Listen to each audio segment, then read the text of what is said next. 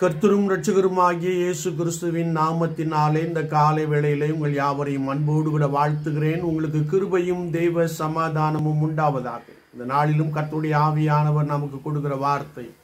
பரிசுத்த யோவான் எழுதின சுவிசேஷம் பதினான்காம் அதிகாரம் பதினெட்டாம் வார்த்தை இப்படி சொல்லுகிறது.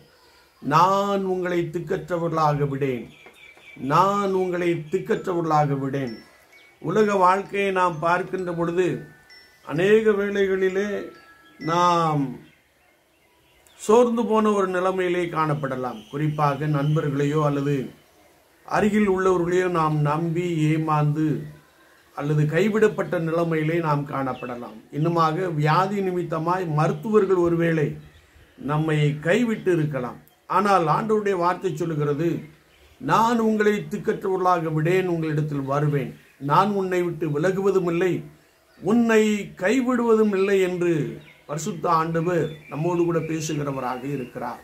என்னை கேட்டுக்கொண்டு இருக்கிற என் அன்பு சகோதரனை சகோதரியே ஒருவேளை இந்த நாளிலும் வாழ்க்கையே முடிந்து போய் விட்டது என்ற ஒரு எண்ணத்தோடு கூட நீ இருக்கிற ஒரு நபராய் காணப்படலாம். கவலைப்படாதே. கர்த்து உன்னிடத்தில் வந்து உனக்கு உதவி செய்ய வல்லவராக இருக்கிறார். அவர் உன்னை நேசிக்கிறார். அவர் உன் மீது அன்பு கூர்ந்தவராக காணப்படுகிறார். எனவே இந்த உலகத்தில் யார் கைவிட்டாலும் ஆண்டவர் நம்மை கைவிட மாட்டார் என்று சொல்லி நாம் விசுவாசிப்போம். அது மாத்திரமல்ல ஒரு தாய் தேற்றுவது போல கர்த்தர் உங்களை தேற்ற வல்லமை உள்ளவராக இருக்கிறார். நம்மை அவருடைய கரத்திலே தாழ்த்தி அர்ப்பணிப்போம். ஆண்டவர் இந்த நாளில் நம்மை பலப்படுத்துவார் பலத்த அற்புதங்களை செய்வார். நாம் ஜெபிப்போம். நேசிக்கிற நல்ல ஆண்டவரே இந்த காலை வேலைக்காய் ஸ்தோத்திரம். வார்த்தைகளை கேட்டவர்களுக்காய் ஸ்தோத்திரம்.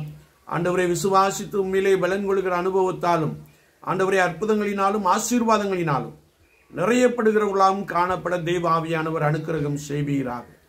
இயேசு கிறிஸ்துவின் நாமத்தில் பிதாவே ஆமீன்.